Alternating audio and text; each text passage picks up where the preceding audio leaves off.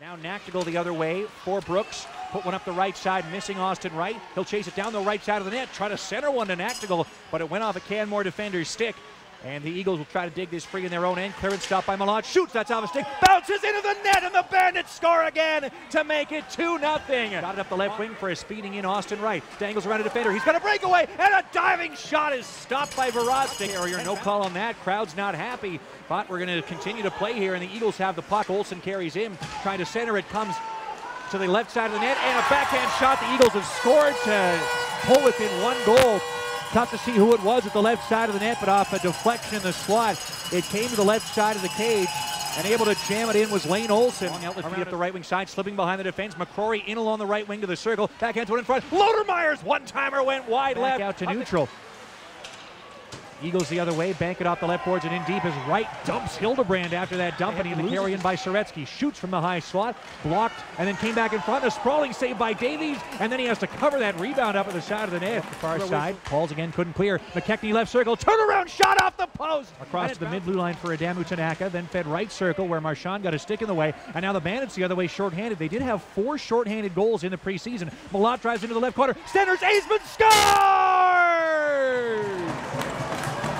Logan Aisman on a net front tip off a beautiful setup by Jeff Malott, who has two points in the first game of the season. A shorthanded goal for Brooks, just 20 seconds. Here now behind the eight ball once more is a big hit from behind on Cockrell by Bickham is going to cause a bit of a scrum at the far boards, and he is going to be called for a penalty on that one. Cockrell turned to play the puck as we get lots of pushing and shoving in front of the Canmore net here. Perkusic's tied up with an eagle. Pauls is throwing some gloves on punches. Cockrell's trying to help his teammate, but he's being held on to by Marchie. Away at it. The Eagles came away with it, and then a spinning backhand centering pass went through the crease. No one there for it. Lavoie's shot from the left half boards was saved. Another try. He rang the near post with the shot. Right wing for a long feed by Carl. Came to Perkusic and now springing Falanga. Breakaway. Falanga shoots. What a save by Verostic as he got the right pad out.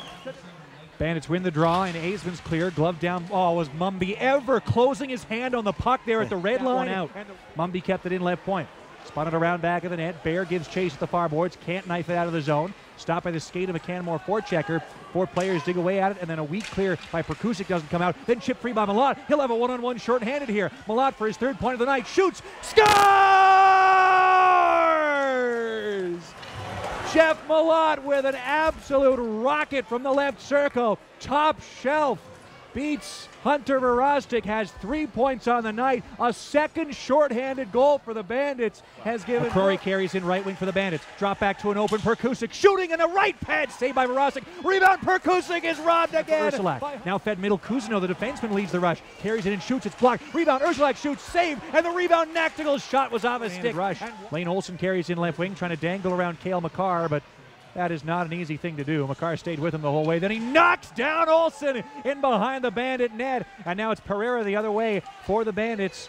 Four on three on the rush here. Penalty coming up to Canmore. They took a dumb penalty after they hit by Makar, and they're going to go down two men. Top left circle to Bear. Left side of the net. Cockrell put it back door, and McKechnie. It went off the heel of his stick on the one timer and wide right. Now Perkusic right circle. Fires one. Scores!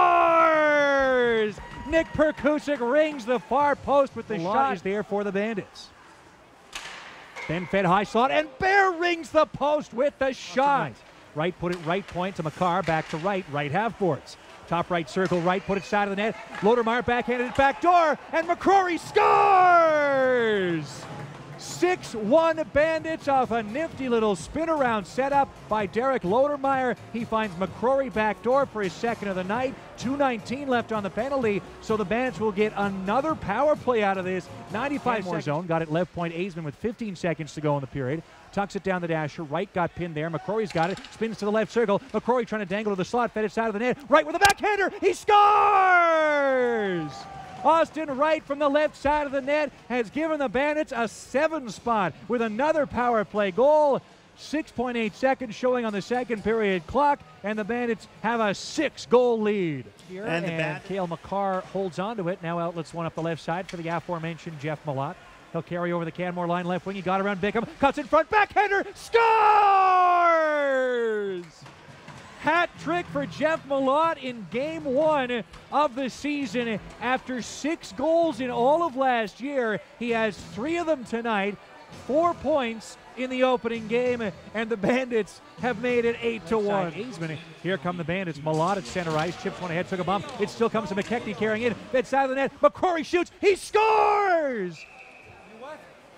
Yeah, it looks like uh, that was Cockrell. Actually, it looked like. Uh, Jared Cockrell from the right side of the net on an impossible angle shot scores, and I barely even noticed that puck goes top shelf, short side like on. they have, and get out of here, take the two points, and get on that bus, get rested up, and ready for home tomorrow. Gordon's long shot tipped into the back of the net by Brent Radford, and Canmore has pulled the deficit to a slightly more manageable seven. Oh.